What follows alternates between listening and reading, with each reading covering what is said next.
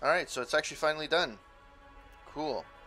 Season 1, Thief of Thieves, Season 1 by Skybound and Rival Games. Um, the game is enjoyable. I did like it. Um, it's not a super long game, as expected. Um, it's probably longer than I would have normally. Somebody that could speed run through the game. You can play through the game in a couple of hours, especially if you know what you're doing. Um, it's a puzzle. Um, it has a little bit more in-depth puzzle make. Uh, Telltale games, it's more really you're in a situation you press like okay punch X, uh, B and whatever, and that's it. You don't really have much time uh, much time to do it, um, anything else.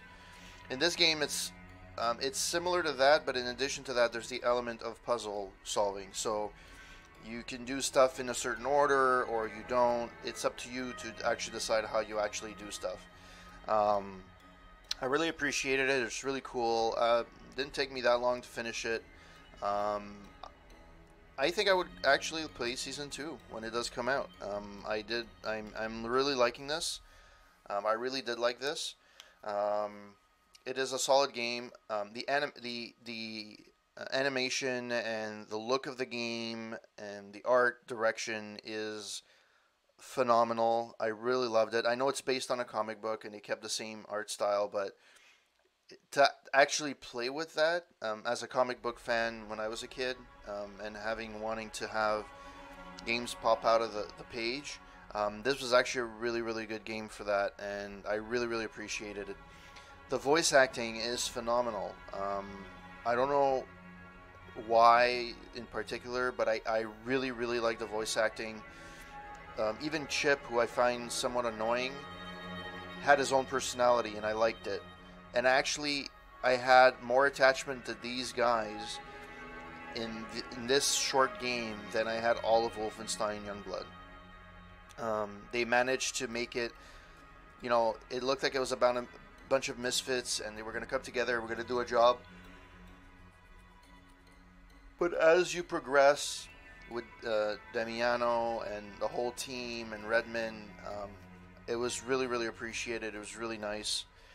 Um, sound was amazing as well. Um, the music, the ambiance, the everything was really cool.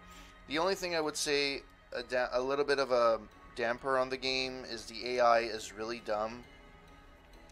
Um, in a sense that they're set to be to to trigger in under certain circumstances, but sometimes they're they see you from across the room, and sometimes they're right beside you and they don't see you, which works in my favor. But that's not the point. The point is the AI is not exactly on point. Um, but other than that, I think that's the only real complaint that I had. There was a minor bug, as you saw at the end, where I couldn't continue. I had to restart the section.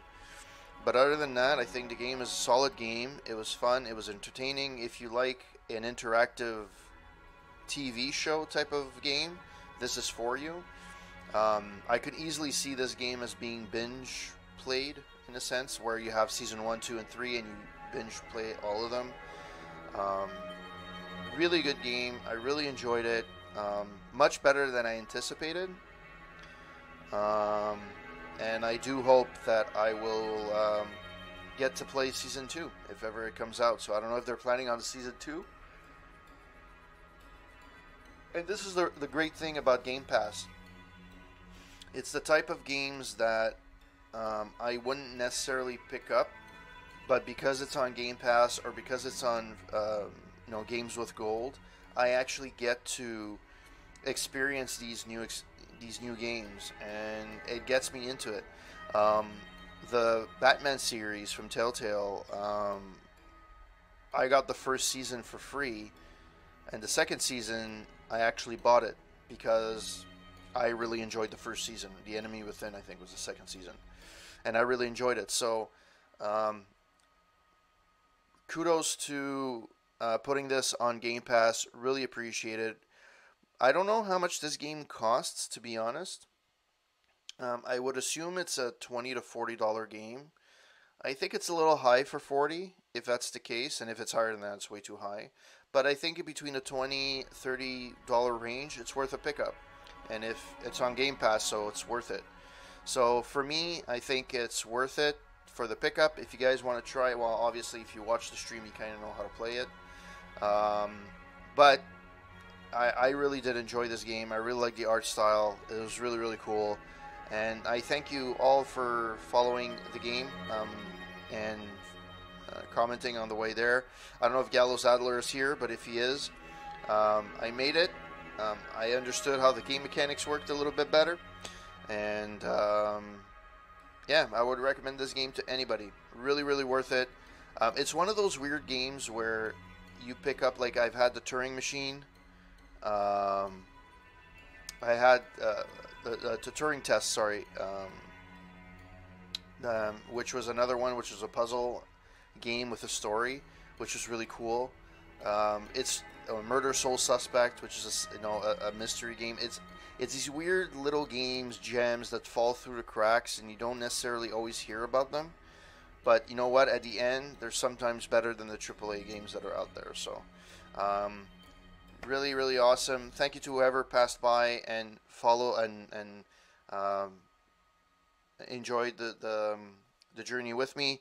Uh, Overrider, Wasteland Ruckus, BK Theater, Engineering Gaming Nerd, The Green Champino, Angry Gorilla, Mr. Garf 1988, Gallows Adler, Coin Up, Got to Choose, and Real Life Dinosaur. Thank you for the host. Really appreciate it. Real and also Real Life Coin Up.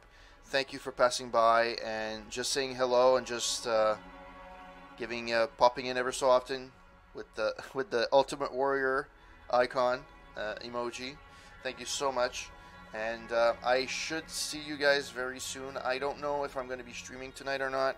If I do, it will be, um, as I mentioned at the beginning of the stream, um, I'm going to do something that I'm sure is going to make people go, eh, and I'm going to get unfollows, but hey, who cares? Um, I'm going to get back into a game that I played and that I flubbed, um, and I gave a horrible reading about a year ago. Not quite a year ago, but almost a year ago. Um, I'm gonna get try and get back into Fallout 76 and see how it is. I actually do want to play Waste Wastelanders, which is the DLC that's coming out this fall. I'm assuming it's going to be November, but I want to get into it a little bit before I play that. So I'm going to try and see if I can get to play this and if I can um, learn the mechanics again. Um, I really didn't like it. I played it for about five to ten hours. I, I played a couple of hours after its release, but I played the beta, and I was just not a fan of it. So, um, hoping hopefully it will be um, be better um, this time around with all the patches that they've done and stuff like that. I have a fresh mind. Um, you know, I don't have the media polluting my view of the game. I have my own experience with the game, which I did not like it, but I'll see if it works. So that's the next thing I'm going to be streaming thank you so much, guys, for for for the for everything, and because of this, we shall see uh, who. You know what? We will raid Engineering Gaming Nerd. Um, great streamer, and he deserves all the all the support we we can get. So. Um, Engineering Gaming Nerd. Raid. Alright, guys. Thank you so much. And I shall see you next time. Have a good one, guys.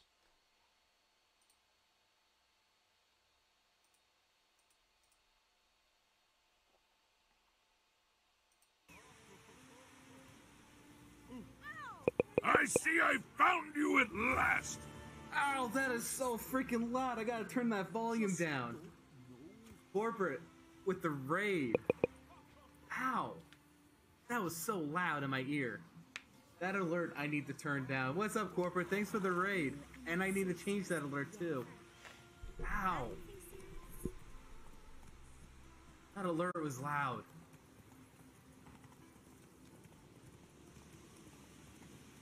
How's it going, corporate?